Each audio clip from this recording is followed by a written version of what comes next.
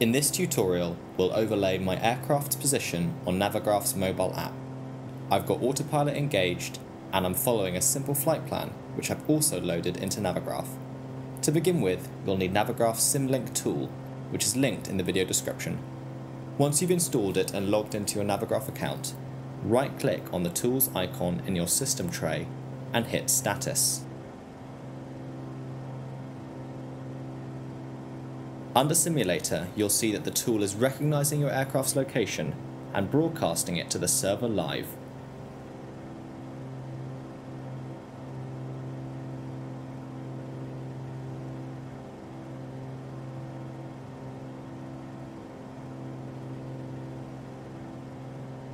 Now let's bring in Navigraph's mobile app with the flight plan loaded in.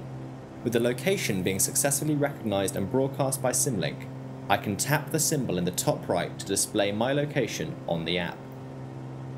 If I speed up the footage, you can see Navigraph following my route in real time.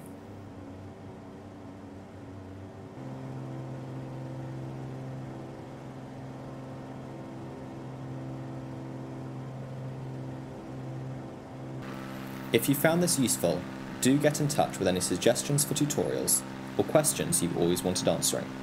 If you want to stay up to date, do also consider subscribing.